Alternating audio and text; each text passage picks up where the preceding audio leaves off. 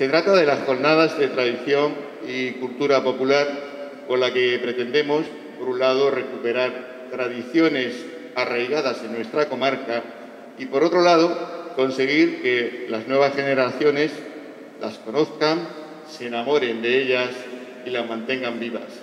Porque pobre de aquel que reniega de sus tradiciones. Estas jornadas se van a llevar a cabo en tres zonas diferentes de la comarca de Cartagena, la zona oeste, la zona norte y la zona litoral. Y precisamente en esta última, en Cabo de Palos y La Manga, comenzaremos el próximo fin de semana de junio con las actividades propias de las jornadas. Nuestro objetivo es que estas jornadas eh, sean solo el comienzo de un trabajo que se prolongue a través del tiempo y que pase a formar parte de la oferta formativa de la UP. Bueno, hoy estamos aquí para presentar la imagen de estas jornadas, el cartel anunciador de las jornadas de tradición y cultura popular de la Universidad Popular de Cartagena. Para nosotros esta imagen tenía que representar todas las tradiciones artísticas y culturales que van a estar presentes y, por supuesto, tenía que ser una obra artística en sí misma.